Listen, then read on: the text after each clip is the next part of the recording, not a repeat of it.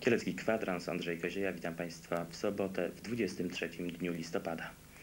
Międzywojewódzka Usługowa Spółdzielnia Inwalidów w Kielcach ma już 45 lat. Wczoraj z tej okazji w Pałacyku Zielińskiego odbyło się uroczyste spotkanie zasłużonych pracowników. W 1951 roku swoją działalność rozpoczęła spółdzielnia pracy Zbiornica Surowców Wtórnych w Kielcach. Od tego momentu rozpoczęła trwającą nieprzerwanie przez 45 lat działalność.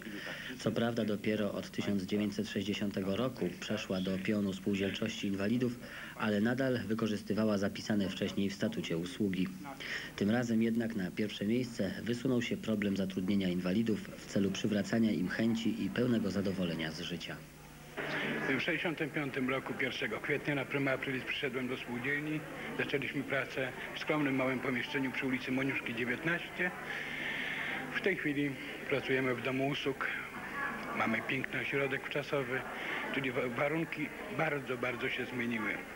Koncepcja budowy domu usług w Kielcach przy ulicy Buczka 14 powstała w latach 60.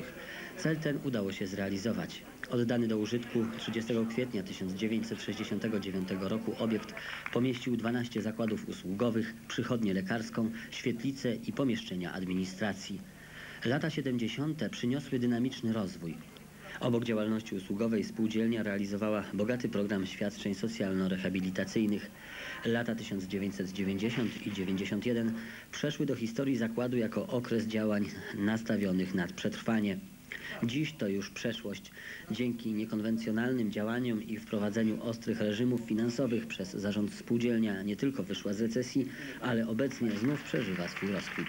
Wzrusza mnie cała ta sytuacja, e, wzrusza mnie ta uroczystość. e, Zresztą spółdzielnia zawsze miała tradycję przepięknych jubileuszy i chciałabym życzyć sobie i całej załodze, żeby to e, dobre ziarno zasadzone w odpowiednim momencie przez ofiarnych ludzi i wybór trafnej koncepcji działania dawało swoje owoce w przyszłości i mogli się z niego cieszyć następni pracownicy i członkowie tej spółdzielni.